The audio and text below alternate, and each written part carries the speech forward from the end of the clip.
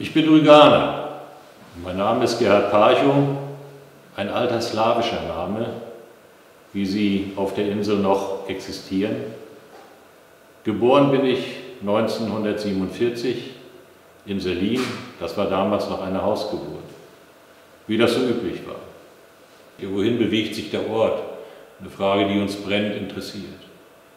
Und mich interessiert natürlich auch, wie wird Selin oder wie wird die Insel Rügen in 25 Jahren aussehen. Also nicht nur immer das Heute und äh, die jeweilige Saison, sondern tatsächlich das, äh, was dann die Zukunft für uns bringen wird.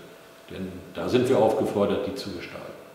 Neben den Urlaubern sollten auch die Einwohner, die Rüganer, eine Chance haben, diese Insel für sich zu behalten. Ich kann mir das kaum vorstellen, dass es eines Tages heißt, Rügen ohne Rüganer. Und äh, das wäre sehr, sehr schlimm. Ich meine, wir sind eine große Flächeninsel, wir wollen uns nichts vormachen.